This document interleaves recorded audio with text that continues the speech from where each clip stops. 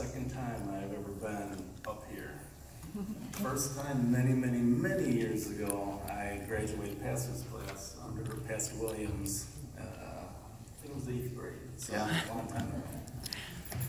Awesome day it is to wish all you fathers a Father's Day, our Heavenly Father, and especially my dad, William Brown. He, uh, he's led by example um, my whole life. Not, not a man of many words, very soft-spoken. He's come out of his shell a little bit as he's gotten a little bit older. He's 91 and a half now.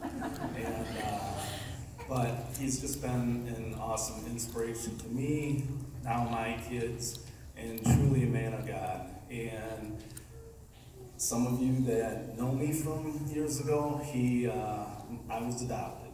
So that makes to me Father's Day even more special because even though God has, you know, chosen each of us, you know, as and our kids and stuff, that He chose my dad to be my dad. And I just want to say thank you, Dad. You've been an awesome inspiration, and many, many more. Yeah. Thanks, Mike. Happy Father's Day to all.